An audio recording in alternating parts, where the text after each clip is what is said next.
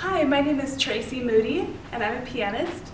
I'm so excited to combine my passions of music and people and growth together here as a piano teacher at Beacock Music and the Education Center. I've been playing the piano since age eight. I started lessons, private lessons, and I continued all the way through college, in which I earned my Bachelor's of Science in Music Education, with piano as my main instrument. Right now, I play on my church worship team, I play for musicals, and I'm classically trained.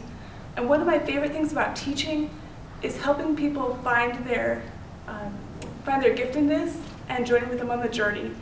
So if you're a student that is excited to get back into piano for fun, or if you want more of a standard piano education, I hope that you give me the opportunity to connect with you and join with you on the journey. Thank you.